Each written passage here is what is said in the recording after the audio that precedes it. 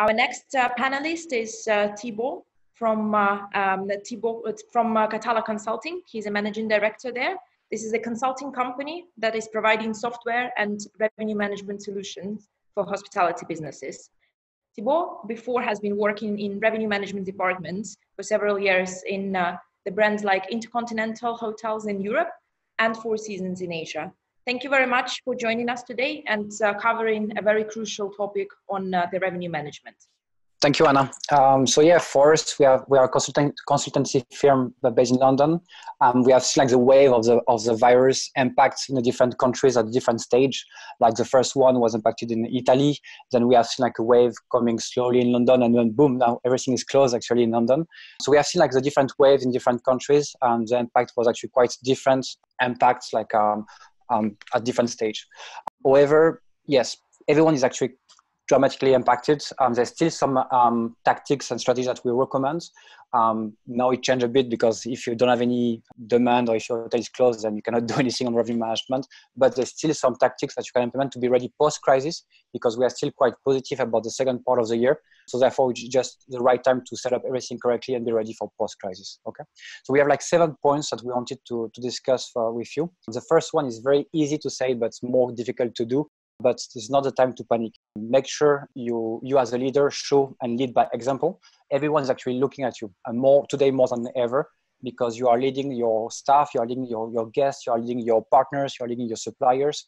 You cannot panic, but you can you can only panic internally, not outside. Okay, so keep it for yourself. And just step back, look at the different, uh, just brief, and look at the different strategies that you can implement, and assess the situation, and then take your decision okay? But today is not the time to panic. Second point which is a very important point anywhere you are in the world dropping the rate will not necessarily increase your demand. So don't drop your rate because if you do it will race it will be a race to the bottom. Where you start to have like one market one hotel will start to dramatically drop the rate then everyone follow and then you have the whole market which is dropping okay? And again think about um, does it make really sense to have your five star hotel or four star hotel at the same price as a three or two stars hotel or before you you were priced at 150 pounds a night and now you are priced at 50 pounds does it make really sense if you drop right now maybe in the short term you may be able to capture some demand but in the medium long term to get back to where you used to be would be actually you will have more medium long term impacts than dropping the rate right now so don't drop the rate. You have a few tactics that you can do, such as a stay free pay two. You keep your rate that you had before, maybe slightly more aggressive. A stay free pay two can be one way to kind of obscure your strategy and your rates. Um, the second one, you can you can add value to your to your to your rates, like a free breakfast, like champagne. I don't know, but you can add, you can add value to your to your to your product and to your rates. That can be a second one. Okay. The next one, uh, I think it goes back to Aradhana and Alex. Um, empathy and kindness always pay. So make sure um, today it's the right time to show kindness and to show empathy to your guests, to your staff, um, to everyone around you. Okay. So today, don't is not the right time to cash in and to make sure you've enforced the um, non-refundable rate, the um, strict policy, deposit, and so on. It will maybe get some cash in the bank in the short term, but in the medium and long term, people will remember what you did and they will not book to you again. So just remember this: like empathy and kindness always pay. Focus on your domestic market. This one, I believe, will be very important in the next few months because we have seen the domestic market is always the last one to disappear and the first one to reappear. We have seen like in, uh, in China, we have seen in Hong Kong some already small sign of recovery from the domestic market, but I believe the second part of the year will be highly focused on the domestic market. UK, Europe, uh, Asia, domestic market will be key. Okay, and as well, it will not recover from uh, one moment to another with all the countries booking at the same time. It will be by waves. So look at your website, look at your Google Analytics, look at who is booking your, looking at your website, and identify uh, which countries you can target highly targeted uh, marketing and sales activities will be the, the, the, the, strategy for the next few months. You target your SEO, your SEM, uh, send um, some communication via, via your newsletter using your CRM would be like key as well. And as well, if you don't focus, you don't um, have any international market, you can do something maybe on staycation. That would be like staycation with the next strategy.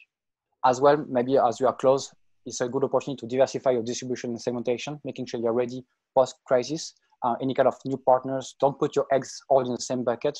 Look at diversifying your segmentation and distribution because in crisis, people were relying on 80%, 90% of one single market, then they just dropped from one day to another. So look at diversification. That would be like your kind of uh, risk management for the medium and long term. And that's the right time to do it now. Uh, be creative of your revenue streams. Um, okay, maybe you have a restaurant. Now you cannot accommodate anyone in the restaurant, but did you think about a ghost restaurant? Just opening up your kitchen for delivery. Or what about uh, promoting your wellness, like uh, your corona, coronavirus free hotel? I don't know, but just is the right time to be creative, to bring some new innovation to the market and try to, to, to, to survive the next few months.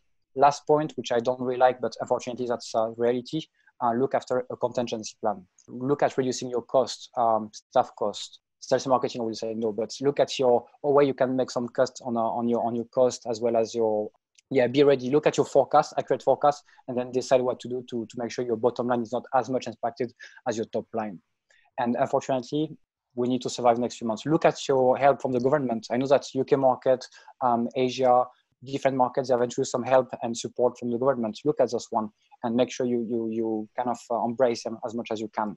And um, lastly, and I think like I want to bring um, an end to, to, to, to this one on more positive note, be optimistic on 2020 because after any kind of crisis, like look at uh, post-war, you got a baby boom. I believe you will have a travel boom uh, post this crisis. Um, now, in terms of timeline, I don't really know when it will happen. Is it in uh, two weeks, three weeks, uh, three months, six months, one year, 20, 10 years? I don't. I hope not. But I'm quite sure we'll have a baby boom. Uh, not baby. We'll have a travel boom after after this crisis, and I believe our industry and market will be stronger post crisis than it was before.